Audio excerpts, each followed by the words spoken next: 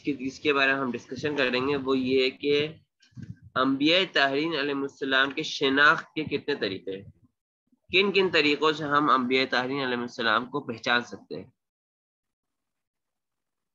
इसका जवाब ये है कि अम्बिया तहरीन अलैहिस्सलाम के शनाख्त के तीन मुख्तलिफ़ तरीके हैं। इन तीन तरीक़ों से हम अम्बिया तहरीन अलैहिस्सलाम की शनाख्त कर सकते हैं। पहला तरीका क्या है? पहला तरीका ये है कि जो गुजशत अम्बिया आए हैं जो पिछले अम्बिया आए हैं उन अम्बिया ने हमें आ, आने वाले अम्बिया के हवाले से खबरें दी हो। उन अम्बिया ने हमें ये खबर दी हो कि आने वाला कोई नबी आएगा जिसकी ये खसूसियात होगी जिसका ये नाम होगा जिसकी ये निशानी होगी। इसके बारे में गुजशत अम्बिया बता दे जब आने वाला नबी आएगा, हम बरसी करेंगे कि आए उस नबी के नाम ये खसूसियात, ये निशानियाँ पाई जाती है। अगर पाई जाती है तो उस शख्स को हम नबी मान लेंगे। बस एक तरीका अम्बिया के शनाख्त ये है कि गुजशत जो अम्बिया है, गुजशत अम्बिया आने वाले अम्बिया की खबर दे हमें, उनके नाम और निशानी और खसूसियात बताए। अम्बिया के शनाख्त के दूसरा तरीका ये है कि अम्बिया को उनके अखलाक और किरदार और तालीमत के ज़रिए हम पहचानें। कि अम्बिया के अखलाक क्या है, किरदार क्या है, उनकी तालीमत क्या है, उसकी तरफ़ हम तवज्जो दें। हम हम तवज्जो देने के बाद हमें ये मालूम हो जाएगा कि आया ये शख्स नबी होने की सलाहियत रखता है, आया ये शख्स नबी हो सकता है जब हमें मालूम हो गया कि फला शख्स नबी हो सकता है, अगर वो शख्स नबूवत का ऐलान करे तो हम उसकी नबूवत पर ईमान लेकर आएँगे। नबूवत को पहचानने के मुख्तलिफ़ तरीके हुआ करते एक तरीका ये कि इंसान अम्बिया को जाके बरसी करे, इंसान अम्बिया के अंदर जाकर गौर फ़िक्र करे, उनके बाद के अंदर क्या कह रहे हैं, उनके अमाल के अंदर वो किस तरह रफ्तार कर रहे हैं, वो किस तरह काम कर रहे हैं, किस तरह वो माशरे में मिल मिलजोल कर रहे हैं। उनके अखलाक किस तरह है माशरे में?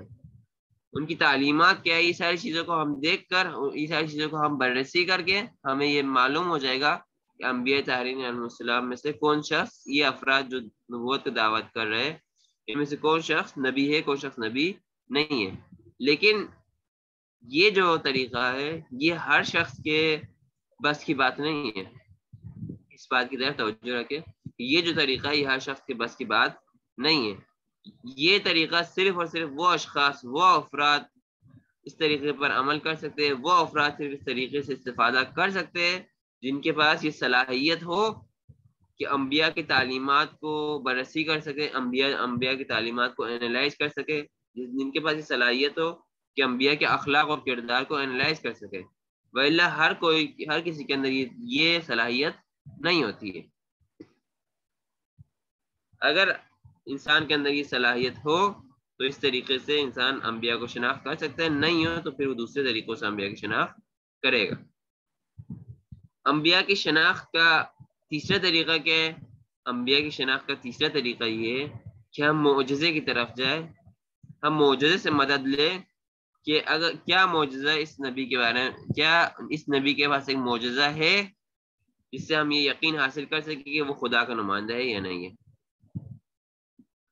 मुआवजा क्या होता है? मुआवजा के बारे में मुझे कौन बताएगा मुआवजा क्या होता है? मुआवजे की डेफिनेशन चाहिए। मुआवजे की डेफिनेशन क्या है? नकी रजा, आप बताओ। Naqi Raza roll number twenty seven इनकी आवाज़ जरा अनम्यूट कर ले ताकि जवाब दे सके।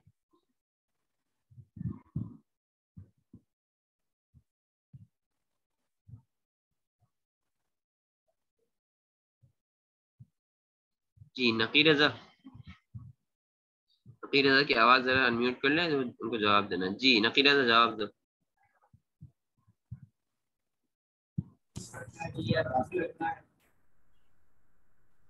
आपकी आवाज़ नहीं आ रही है? दोबारा बोलो। अपनी आवाज़ अनम्यूट करो आपकी आवाज़ अभी तक म्यूट है। अनम्यूट करके जवाब दो। सर सर मौजा की डेफिनेशन ये होती है कि जो हमारे अम्बिया है इन्होंने मौजद मौजाद दिखाए अम्बिया ने क्या? मौजाद दिखाए? जी। जैसे मौजे की डेफिनेशन क्या है? मौजे किसे कहते हैं? मौजा अल्लाह की तरफ़ से दिया हुआ खास अल्लाह की तरफ़ से दिया हुआ खास क्या? खास आ,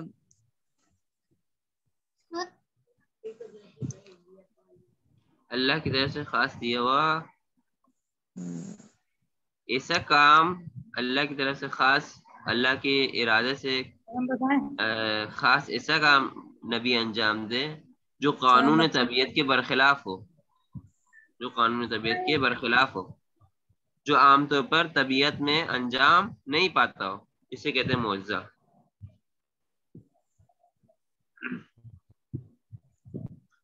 बस मुआवजा क्या हुआ? ऐसा काम जो नबी अंजाम देता है और वो कानून तबीयत के बरखिलाफ होता है और उस काम के ज़रिए नबी ये दावा करता है कि ये काम मैं खुदावंद मुताल की तरफ़ से अंजाम दे रहा हूँ और क्योंकि मैं खुदा मुताल की तरफ़ से अंजाम दे रहा हूँ, लिहाजा मैं खुदावंद मुताल का ख़ास नुमाइंदा हूँ, या नबी हूँ, या इमाम हूँ ने भी कभी कभी मोजत दिखाए है अलबत् को मोजत दिखाना इस वजह से नहीं था कि वो ये साबित करे कि मैं इमाम हूँ, बल्कि उनका मुआवजा दिखाना दूसरे वजूहत की बना पड़ता, उनकी करामत दिखाने के लिए, उनकी अजमत दिखाने के लिए मुआवजात अंजाम पाते थे। लेकिन मुआवजात अगर नबी दिखाए तो वो इसलिए होता है ताकि वो साबित करे कि वो अल्लाह ताला का खास नुमाइंदा है।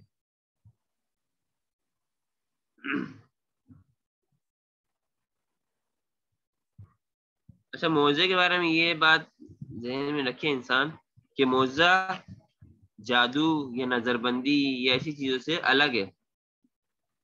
जादू वगैरह, जादू टोने वगैरह से अलग है।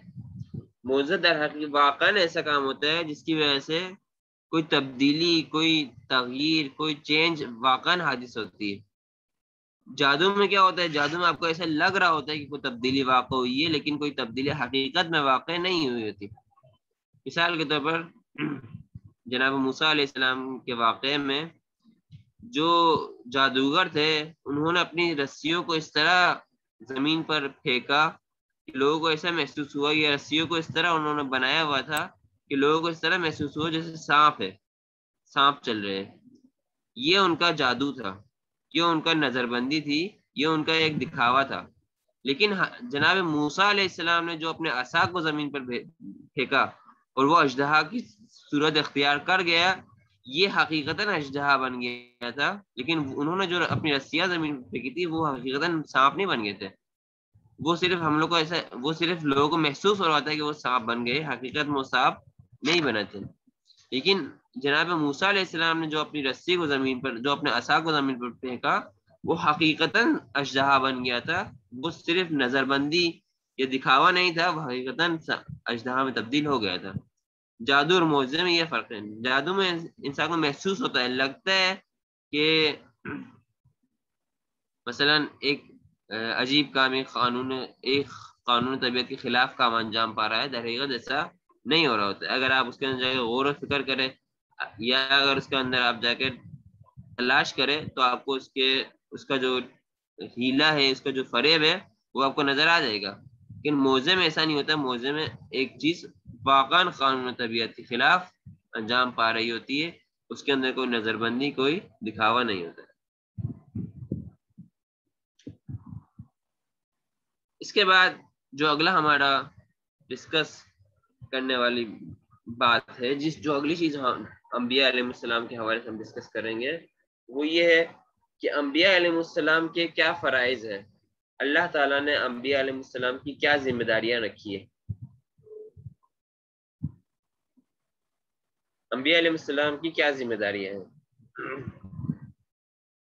उनमें से बाद जिम्मेदारियों का तस्करा जो है, वो कुरान मजीद में आया है।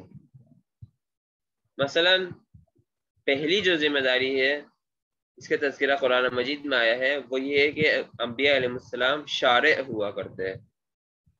यानी शरीयत को यानी दीन को इंसानों तक पहुँचाने की ज़िम्मेदारी ये अम्बिया तहरीन की होती है। बस अम्बिया तहरीन शार हुआ करते हैं। दीन को, शरीयत को लोगों तक पहुंचाते हैं। साथ साथ अम्बिया तहरीन शारह भी हुआ करते हैं। शारह भी होते शारह भी होते शारह यानी दीन की तशरीह करते दीन को बयान करते दीन को वाज तौर पर इंसानों के लिए खोलते और वाज करते बस शारह भी होते यानी दीन को लाने वाले भी होते हैं और शारह भी होते यानी दीन को बयान करने वाले भी होते दूसरा वजीफा अम्बिया तारीन का दूसरा फरीजा, दूसरी ज़िम्मेदारी अम्बिया तारीन की ये कि अगर उम्मत में, लोगों में कोई इख्तलाफ पैदा हो जाए, कोई मसला पेश पैदा हो जाए तो वो कजावत का काम भी अंजाम देते हैं।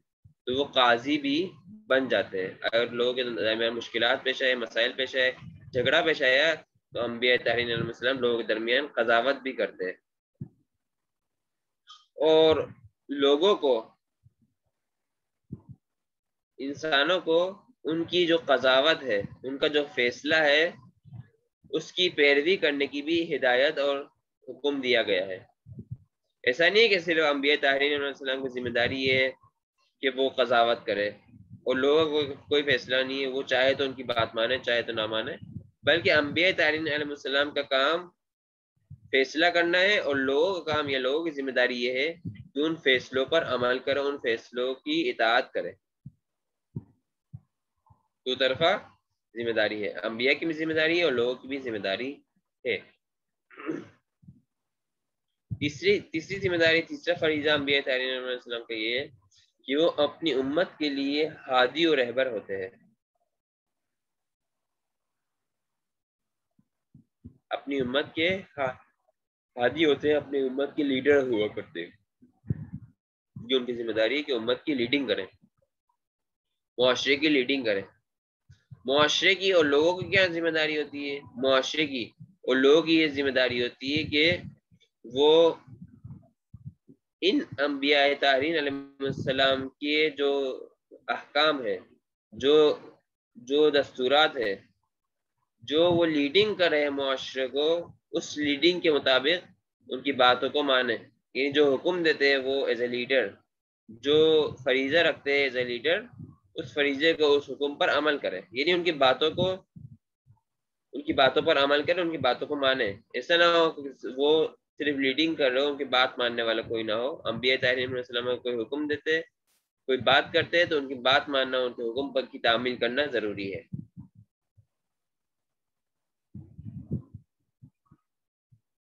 अब फ़र्क नहीं पड़ता है कि उन्होंने जो हुक्म दिया है, वो कोई सियासी हुक्म है, या इज्तमाही हुक्म है, या या या मानवी हुक्म है, इससे फ़र्क नहीं पड़ता है। जिस तरह का भी वो हुक्म दे जिस तरह की भी वो ज़िम्मेदारी लगाए उन, हर तरह की ज़िम्मेदारी उनकी मानना ज़रूरी है हर तरह का हुक्म उनका मानना ज़रूरी है क्योंकि वो नबी है वो खुदा के भेजे हुए शख्स है।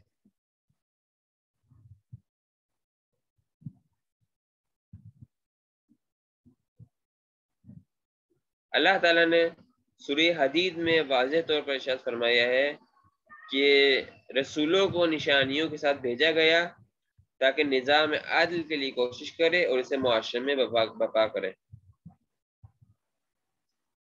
अम्बिया के भेजने का एक अम्बिया के अरसाल का एक फरीज़ा एक ज़िम्मेदारी यह है कि अम्बिया तहरीम मुआशरे में लीडिंग करे लीडिंग करे मुआरे की रहबरी करे मुआरे को गाइड करे और मुआरे को अदालत इज्तमाही की तरफ़ लेकर जाए। मुआरे में अदल बपा करने की अपनी कोशिश करे।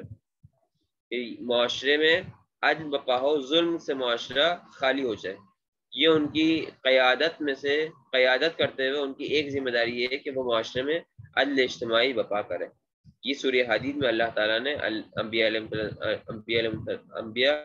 की ज़िम्मेदारी में से ज़िम्मेदारी में से एक ज़िम्मेदारी को बयान किया है। आज का दर्स यहीं पर ख़त्म होता है। किसी कोई सवाल है तो वो कर सकते हैं। शनावर आपको आप कोई सवाल है तो कर सकते हो। जी। हम ये बोल रहे थे कि जो सूरह हदीद के अंदर अल्लाह ने बोला है कि रसूलों को निशानियों के साथ लेकर भेजा गया है। तो निशानियों से मतलब क्या है? रसूलों को निशानियों के ज़रिए भेजा गया है यानी रसूलों को मुआजात के ज़रिए भेजा गया है ताकि लोग उन्हें पहचाने।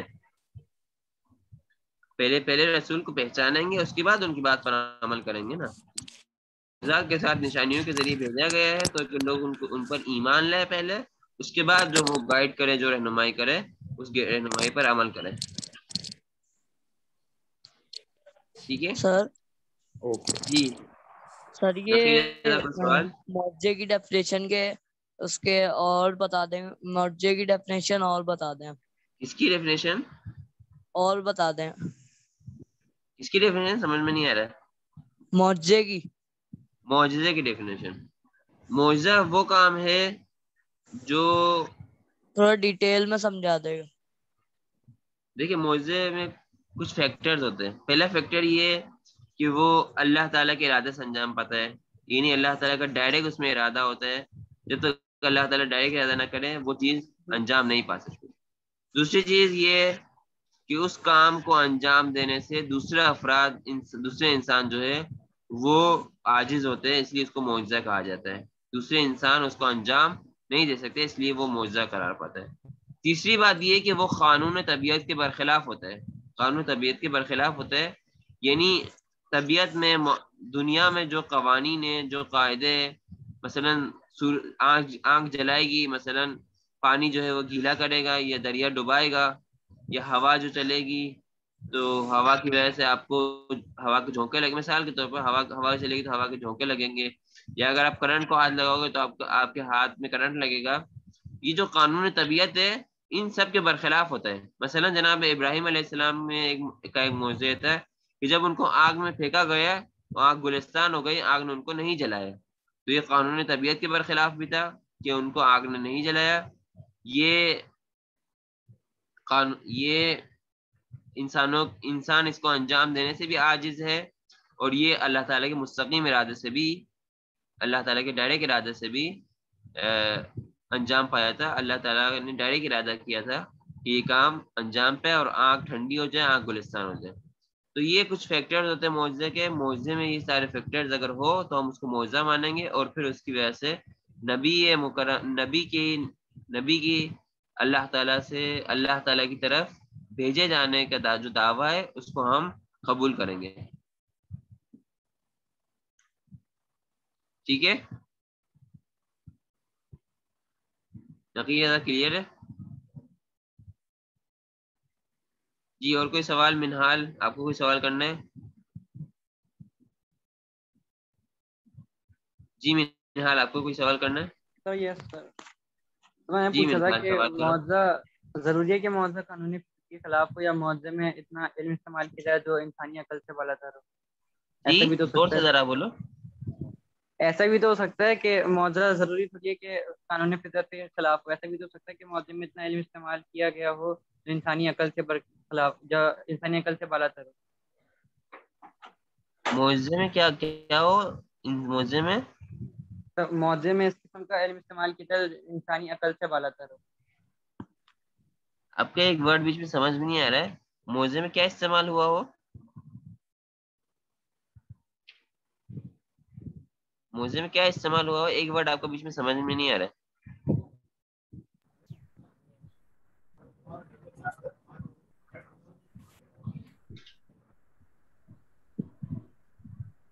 आपका आपका सवाल मेरे से समझ में नहीं आ रहा है। सवाल जो है वो आप लोग ग्रुप में भेज दे अभी क्लास का टाइम खत्म हो गया है। ग्रुप आठ से साढ़े नौ बजे के दरमियान खुलेगा, उसमें आप सवाल भेजें, जवाब इंशाल्लाह आपको दे दिए जाएँगे। असल वरहमल वर्क